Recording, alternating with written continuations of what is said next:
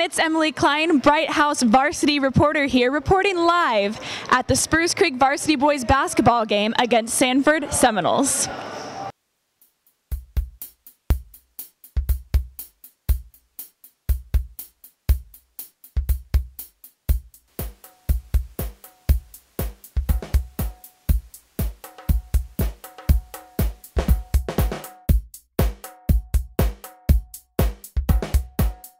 It's halftime right now, and we are winning. It is 27 to 22.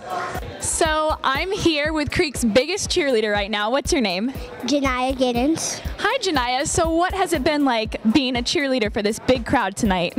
It feels like the whole crowd is and the team is just depending on me to help the team do better and, and to win.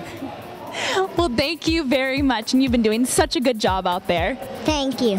thank you. A timeout right now. Yeah. Uh, Seminole just scored one more point, which puts them at 53 to 52, with still 13.5 seconds left in the game. Let's see who comes out on top. Number one is going in for a free throw. He's got two of them. All right, this could very well be the most intense Spruce Creek game I have been to in a while.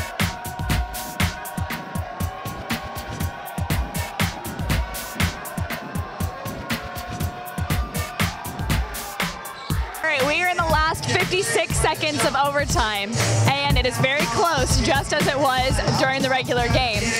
We are at 56, and they are at 55. It'll be interesting to see who comes out on top with this one.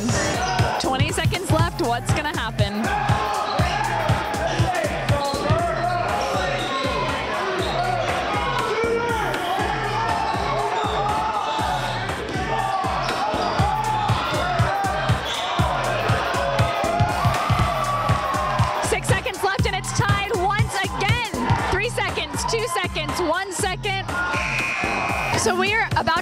Into the second overtime. Another four minute game will be played. We are now tied at 57.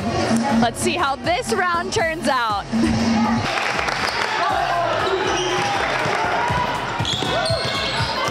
Last 30 seconds. It is now tied 65 to 65. 10 seconds left. How are they going to get the ball to the hoop?